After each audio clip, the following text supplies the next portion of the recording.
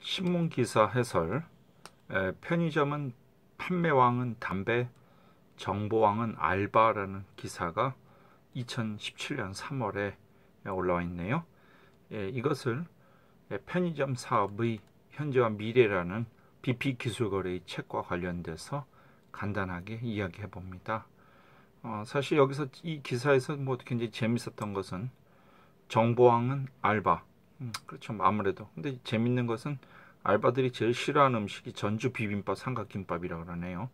이게 빨간 게 묻어 있고 예, 이게 밥풀도 떼기가 굉장히 싫으니까 예, 그렇다라고 합니다.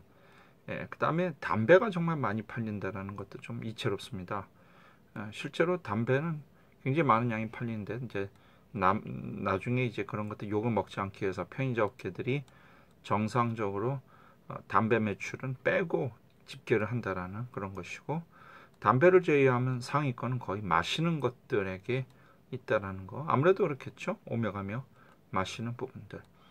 자 뭐 저희 BP 기술거래가 제시하는 편의점 산업의 사, 산업의 현재와 미래는 결국에는 우리가 1인 가구로 치닫고 있는 이 시대에서 어떻게 우리의 실정들을 정확하게 파악을 하고 예, 바로 미래에 대한 사업을 해야 될지에 대한 이야기들을 담고 있습니다.